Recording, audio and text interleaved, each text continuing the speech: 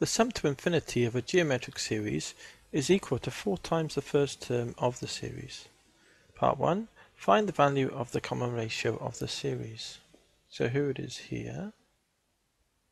So s infinity then, which equals a over 1 minus r, is equal to 4 times uh, the first term, which is a.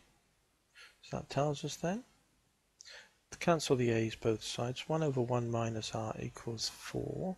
Move the 1 minus r up, and move the 4 down at the same time.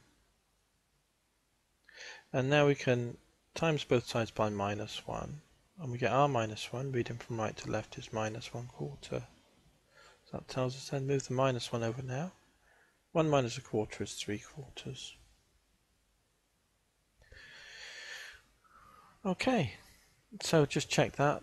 I, we moved this 1 minus r up as from divide to times and at the same time moved the 4 from times to divide and wrote it down like so. Then we times both sides by minus, so this became r minus 1, which we wrote this way round, and that was equal to minus a quarter. Then move the minus 1 to plus 1.